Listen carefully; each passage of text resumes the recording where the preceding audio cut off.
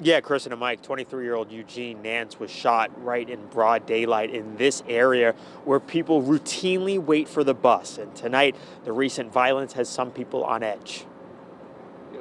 Just keep my eyes open. This is downtown, you know, it's, it's not supposed to be going on down here, you know? Several people telling Pittsburgh's Action News 4 the recent violence has prompted them to be more vigilant. You're still seeing fights, you're still seeing uh, obviously violence yesterday. Dr. Christopher Hayner owns Hayner Dental, located downtown, but it won't be here much longer. I'm concerned for myself, my staff, my patients, their safety, getting into the office, leaving the office, um, no matter what time of day it is. What are you going to do about it now? Uh, I'm relocating out of uh, the downtown triangle. Thursday's shooting not far from other recent incidents downtown.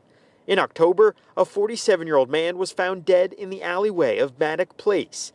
And in May of 2022, two men were charged in the shooting death of 18 month old DeAvery Thomas, who was riding in a car near PPG Place. It's just, just too much going on right now. What do you mean by that? It's shootings, this is a younger, it's the young generation.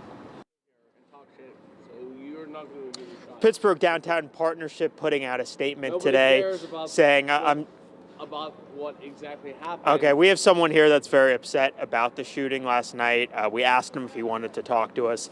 He doesn't. He prefers not to. But again, Kristen and Mike, the Pittsburgh Downtown Partnership, saying that the latest gun-related incident underscores the urgent need for a focus on public safety. It also added that it will continue to advocate for increased police presence in downtown. time, that's why. We're reporting live downtown tonight. Mike Valenti, Pittsburgh's Action News.